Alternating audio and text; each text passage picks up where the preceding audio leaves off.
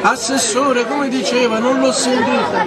Diceva che negli ultimi tempi io mi affanno, io mi affanno, mi viene l'affanno a organizzare sta cazzo di via Crucis, sempre perché non dico qui per andarmi che poi sono riusciti ad aggregarsi in questo paese, che cazzo si deve fare? Io una vita, io sono rimasto singolo perché cioè io mi sono dato, mi sono prestato, mi sono offerto, mi sono indebitato, mai del luogo sano, non sono mai riuscito a regalare 5 Lo scioglimento quello di Lucuseno che ogni mattina alzandosi e guardandosi allo specchio rinnova l'annoso quesito. Quanto cazzo ho bevuto io?